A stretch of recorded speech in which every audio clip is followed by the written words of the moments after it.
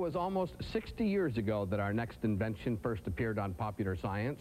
Our lives would sure be different today without it, particularly people who go on camera who might be considered vain or nearsighted.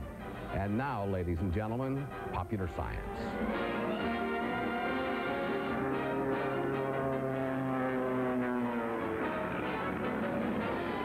Too bad she has to wear glasses, such heavy ones to distort such eyes.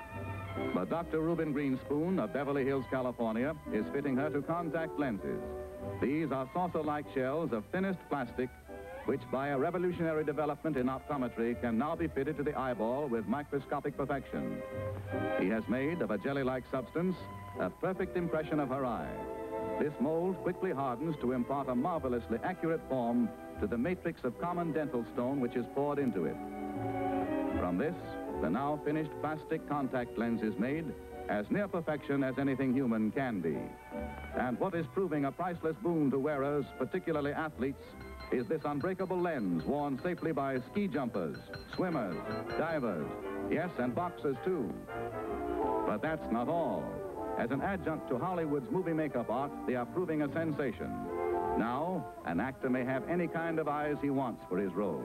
The eyes have long defeated the makeup expert, for in them, youth lives or fades or dies, and nobody has ever been able to do anything about it. Now, however, a young player can have the burnt-out eyes of a rake, half mad, by the simple expedient of putting them in, or his role may call for aged, rheumy eyes to match a palsied body, withered face, and made-up hair.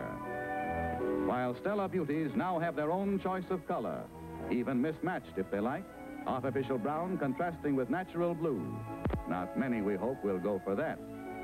Her birthright shade is blue, but she may change to a lighter shade if her role or fancy desires it. This is a factor of growing importance as more and more movies are made in color. The eyes have it. Yes, the eyes have it. Actually, the very first contact lens were invented in the 1800s. The ones in the 1930s covered even the whites of the eyes.